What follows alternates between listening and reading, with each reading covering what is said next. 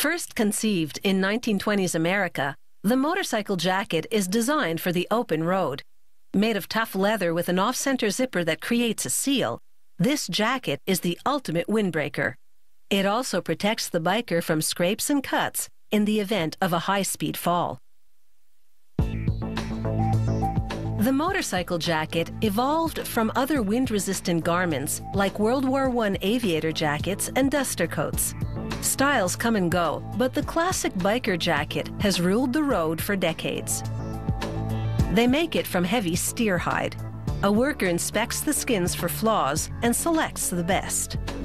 He also pairs up skins of similar hues and textures, so all the sections of the jacket will match up. He wipes oils from the hides with a piece of sheepskin. Then stacks the hides in bundles of 6 to 10. It's now time to select a pattern. In this case, it's a men's medium. There are about 50 pieces in one motorcycle jacket pattern. Cutting the leather takes an experienced hand and a keen eye. The cutter works around any imperfections and chooses the stronger sections of the hide for the parts of the jacket that will be subject to the greatest wear. It's a skill that takes about two years to master. They punch out small components like pocket flaps and trim with a die, producing stacks of parts in one swoop. They call it clicking out the parts. These parts of the jacket don't vary in size, so different sized patterns aren't needed. The next worker lowers a hydraulic blade to cut pocket slits in several jacket front panels. This is called the pocket chop. Working from the reverse side of the panel, workers fold back the edges of the pocket slits and glue them down with strong industrial adhesive. They gently hammer the glued border to improve the adhesion. A few taps to both the back and the front of the pocket slit seals this job. A seamstress sews a zipper onto a pocket. Then she stitches the pocket into the panel slit. This is the right panel, and this side of the jacket gets three pockets. Biker jackets usually have lots of pockets because motorcycles don't have much storage capacity. She pieces together the rest of the leather shell. In the meantime, another crew rolls out quilted fabric for the liners. They align it with other pieces of the material that have been cut to length.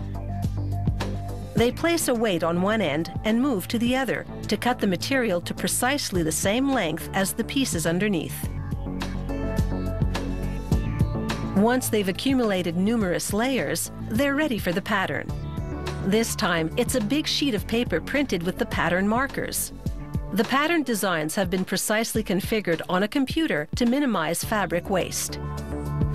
Using sharp vertical blades, they cut along the pattern lines, slicing through the quilted stack. In a matter of minutes, they produce liner components for a couple dozen motorcycle jackets. In the sewing department, the seamstress pieces together the quilted lining and stitches on the label. She mates it to the now completed leather shell, sewing from the inside so the stitches won't be visible. With the job done and the off-center front zipper installed, the next worker turns the motorcycle jacket right side out. She pulls the seams of the jacket over a pointed metal rod. This gets rid of any puckers and rounds out the seams. Using a hydraulic device, another worker installs button-down snaps on the collar. This will keep it from flapping around and distracting the biker. A worker drives the prongs of a metal star into a piece of shoulder trim and bends them back. This and other metallic touches add a bit of flash to the jacket. Made famous on the big screen by Hollywood tough guys like Marlon Brando and James Dean decades ago, the motorcycle jacket is still riding a wave of popularity.